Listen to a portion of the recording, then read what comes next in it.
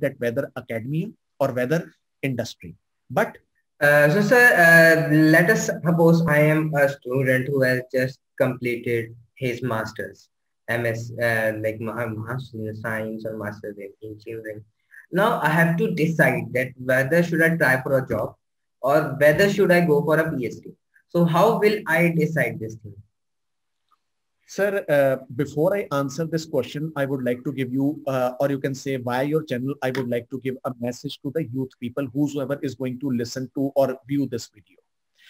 Actually, in our youth of today, I'm very sorry to inform you that youth is having some mixed confusions. That, mm-hmm. okay, I'm a master. Okay, I should get for a lakhs of jobs. I should get this. I should get higher position or other thing. And some people start trying for PhD admission like they've done their BTech and they've done their MTech and that's all.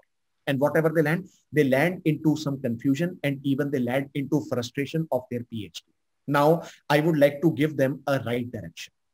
Now, first of all, if you are a master's, now the first thing is that don't first of all stop. First of all, stop and be calm in your life. Spend some time that exactly what you are good at.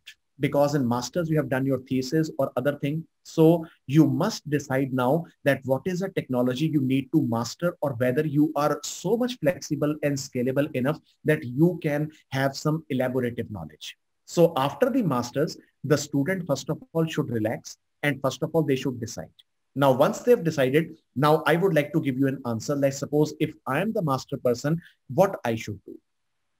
Rather than I should try for PhD, I should first of all try that whether I'm good into academia or whether I'm good into industry.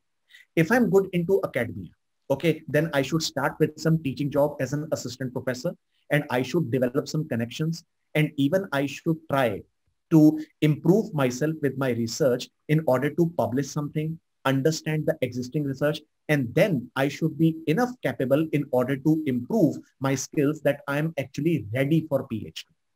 Okay, but if I'm into industry, then I should try that what industry requires, how industry takes the solutions.